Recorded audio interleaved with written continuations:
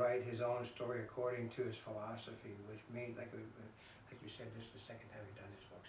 That, that, it means that they don't have an ending for the movie. and that movie was for, this was J.C. it- it- Chandor. It was for Robert Redford's one-man show, and uh, we go way down, uh, All is Lost.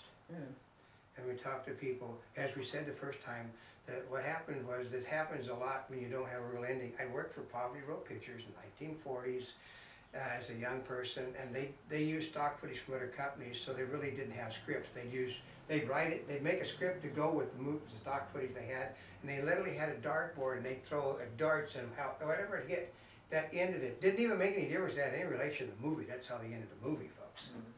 So the actors expected to be in Cannes today are, these are some of the new people, we'll tell you some of the older, older ones too. Jason Abelos, Adrien Brody, Jessica Chastain, that's entirely new. Mm, Matt Damon and Mike, Matt Damon and Michael Douglas are producing, they're kicking the daylights out of their movie, and they're everywhere trying to push that movie. Yes, the Candelabra movie, or actually, would you just say the Liberace movie? Yeah, Okay, also Richard Dreyfuss is still there, yeah, um, James Gray, yeah, an English actor. Rob Lowe still there? Yeah, well, no, Rob Lowe is in the movie with, um, the Blood, Blood, Blood, Blood Ties, I think. Oh, with Ryan Gosling, right? Or No. that's, or that's a James Caan movie. That's a James Caan movie Okay. with, uh, with Clive Owen, Uh, Milla Jovovich is there. yeah. Um, who else is there? Eva Longoria was making the news yesterday. I don't know if she's still there. Oh, she wore a transparent outfit yesterday they, basically you could see her black underwear. She wore silk panties and bra this time, so. Well, they said they told her she was told to wear underwear because it was raining, so she was lifting up her dress a wee bit too high. Yeah, way too big. Which the photographer's got some priceless pictures. Yeah, really, I mean, the picture, well, I- I've never posed nude for a magazine, so she posed with her, with no panties on. for Well, she wasn't thinking about it. She I know, but, um, we have, uh, Joaquin Phoenix and Jeremy Renner are there.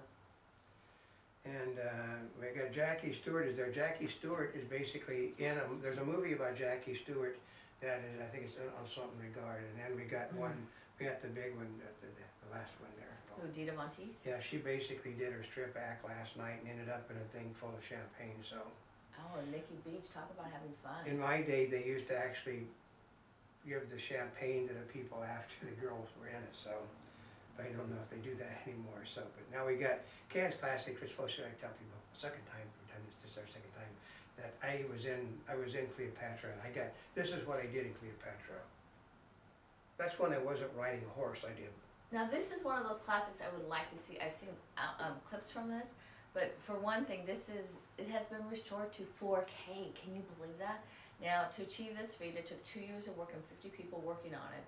And when it was released in 1963, I love this. It says it had a 44 million dollar budget, thousands of extras, two directors in succession, and an extramarital affair between Hollywood stars Richard Burton and Elizabeth Taylor, the diva whose wardrobe cost him 194,800 dollars.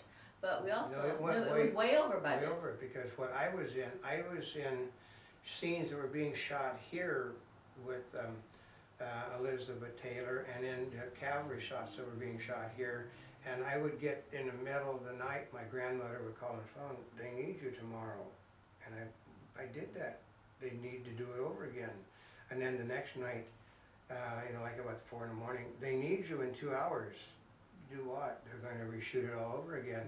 And then the next day, I know they're gonna reshoot it all over again. This is what was, this was, you know, basically we we're beginning to go. Mm-hmm. If you look closely, you can see there's shots where, and then there's shots where. You know, there are people getting tired of doing, they do the Reshoots same and over and over. And the- Forty-four million, I think maybe hundred and twenty million, which is like five hundred million now. And that was in 1963. Yeah, I mean, this was it was really kind of expensive movie. They just, they just stopped counting out the, out the original budget. They, basically the film, I don't think it's ever made its money back. Oh really? Yeah, and like the hundred ninety-four thousand dollars in wardrobe. Uh, that was for uh, mostly, uh, okay, the, uh, uh, most of that was Elizabeth Taylor, I think, because, um, Yeah, they're saying that was her wardrobe. yeah, Yeah. because it was, uh, and then. The scenes had a lot of people in them though. Yeah, well, because what happened was Elizabeth Taylor, basically, she had, depending upon the time, uh, you know, basically she was a little bit heavy, a little bit light, a little bit heavy, a little bit light, and trying to get the clothes to remain the same, so, and then it changed the Oh. costume so many times, I mean, Well, she was Cleopatra. I know, but uh, You're it's, supposed to have a massive wardrobe. I know, basically, it, it, it- it's still one of the most beautiful American, uh. Pepla? Pepla that was, um, uh, uh, one of the most beautiful American people, well, Pepla must be a word I don't know, that I was immortalized Elizabeth Taylor as a misunderstood love-stricken queen of Egypt. The Immaculate transformed the life of Cleopatra from a mere history lesson to a Shakespearean tragedy. She's a woman divided between her uh, desire for recognition and her desire for love, basically. The uh, 20th Century Fox was actually involved in the re- in Oh. First, the studio cleared the original negative before digitalizing them. A second restoration, the most important, was then done by computer on the digital version, which made it possible to restore the film's original palette of colors, eliminate the imperfections, and turn back the ravages of time. There is suspicion that that word, I can't figure, hap- Pepla? peplum uh, is, uh, is basically palette. Mm. One of the most beautiful American palettes. Palettes or people? No, palettes. Pepla. Because if you watch down here, it says palettes too, uh, original palette of colors. Oh. It was a very beautiful film, so, of which somebody forgot to put Roddy McDowall in for Best Supporting Actor. It was his shot and they totally forgot Oh, forgot they it. did? Yeah. Um, Kate Burton, Richard Burton's daughter, and Chris Wilding, the son of Elizabeth Taylor, will attend the screening in Cannes. Um, so they're there Yeah, um, to appreciate the extraordinary precision of the restoration team. Although this is the first time that Cleopatra has been presented in Cannes, its director, Joseph Mankiewicz, came to the festival twice. The first was in 1949 for The House of Strangers, and then in 1951, the year that All About Eve won the Special Jury Prize. yeah, if you wanna know more about Joseph L. Mankiewicz, go, to- go, go to Benji, Benji Is, is he related to Ben Mankiewicz? The, Yeah, he- the- he- he's like the grandson. um, Oh, we got a, we got Michael Douglas in the press conference for Uh, the- this is after the candle, behind the candelabra. Yeah, so we Okay. got the press conference yesterday, we talked about the moving. Um, Michael Douglas says Stephen gave me the gift of this incredible role, yeah, so, uh, I, I, uh, you see, like, I met him, okay, like, uh, this was just, uh, this, you know, he led an extraordinary life, there was just the secret of his homosexuality, there was a lot of women in his audience, and they were all in love with him, which made him coming out, he never came out, not that I oh can wait, remember. here's the, here's the other part is you lived during that time. Oh, I never, Liberace had women around him all the time. Liberace, uh, was, you know, he, he. He was a showman. Like we said yesterday, he- he wasn't, he didn't start out flamboyant. What happened was his, his black tux jacket got messed up at the Hollywood Bowl. He needed to go on, so he took, he got, had a white jacket, he put it on, and it got such a big, he basically made a joke about his jacket, you like, he did his thing, you like this? And he explained about it, and people were hysterical. And the next time he'd come out with more, he came out with like a country tux, and they loved it.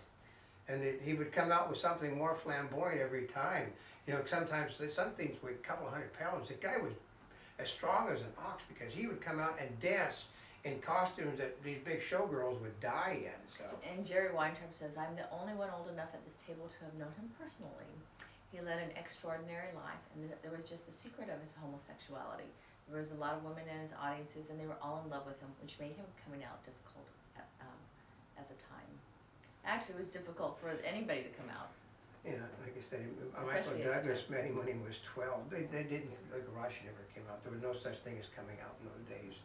basically, uh, the, uh, Michael Douglas's dad, uh, Kurt Nuremberg, basically, he was wearing so much jewelry that it sparkled his son. He, wa- he was the predecessor of people like Elton John, yeah, Well, here's the fun part is, is I met Liberace's jeweler, yeah, um, who made his jewelry, and he actually made a diamond piece for my mother, yeah, cause dad went to the fat farm with him. yeah.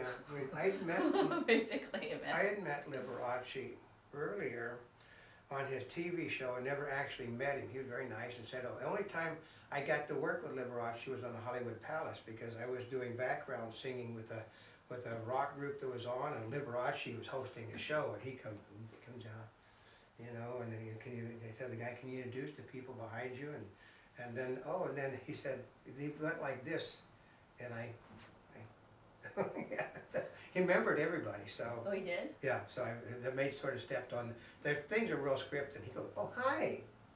So, Well, and here's one thing I didn't know. This is by Michael Douglas. It was just after my cancer, and Stephen gave me the gift of this incredible role. I am very grateful to the whole team for waiting for me.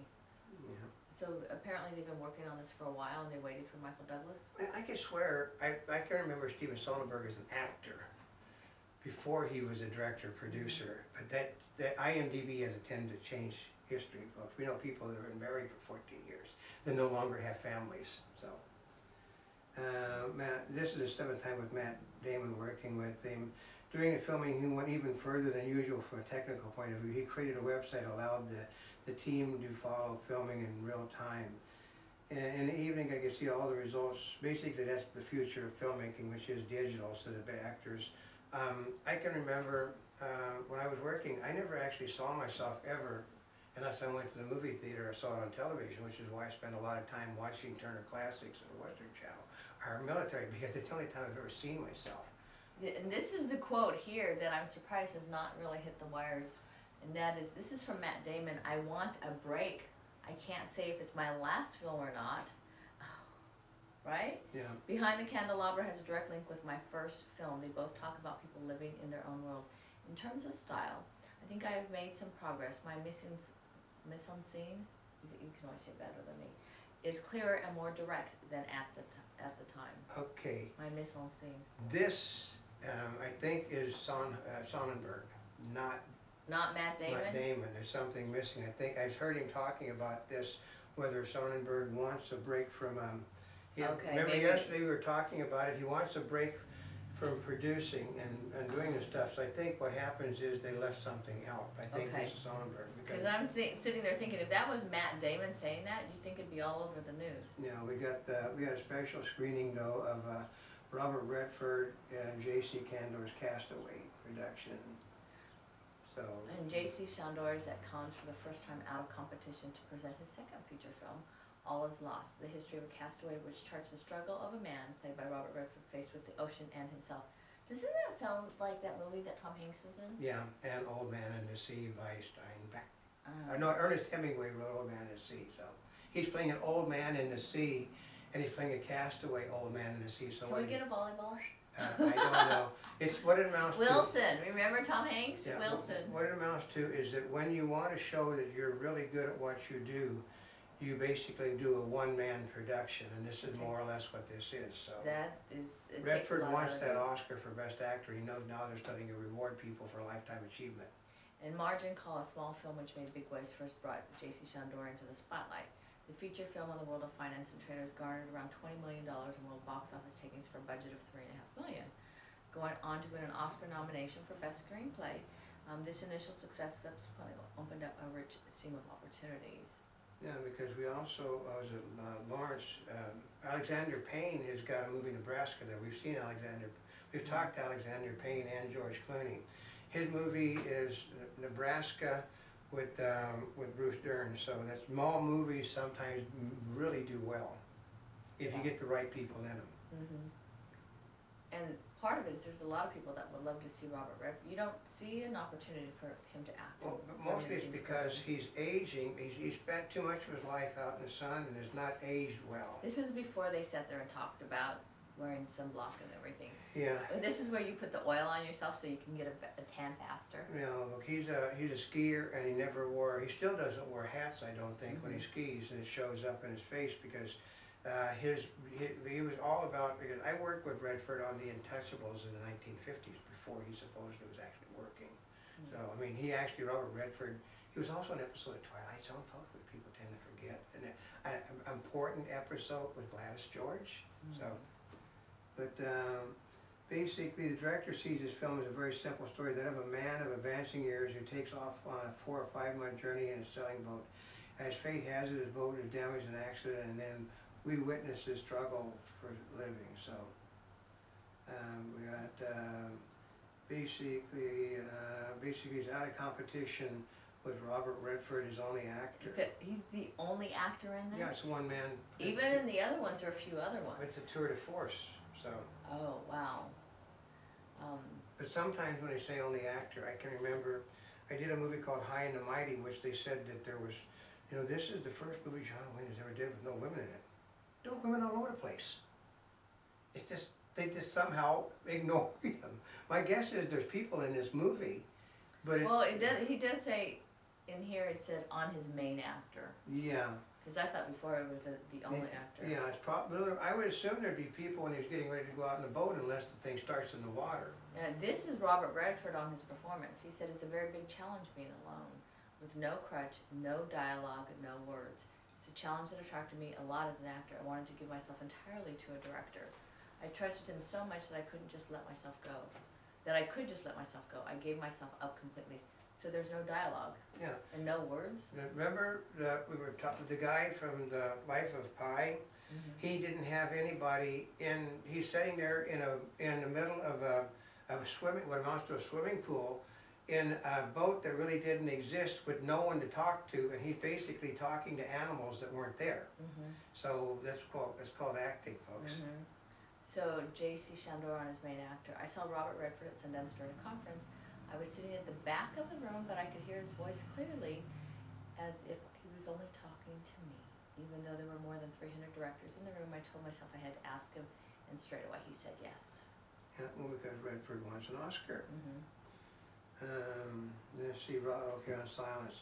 Believe, I, I believe, um, in the role, uh, silence in the film, and because often we talk far too much, since, silence allows you to really rule your role and forces you to totally trust the director. But no, Redford basically is a very quiet person, so with him, it probably was not a challenge to be quiet. And Robert Redford on the pace of the world today. Um, the role of technology is constantly speeding things up. The pace of life is getting faster and the energy is fascinating. But how long will it last? This is the theme of the film because it is the opposite of what we are experiencing in today's world.